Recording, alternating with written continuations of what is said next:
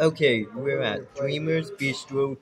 They have the world's largest corn dog and the rotisserie style chips.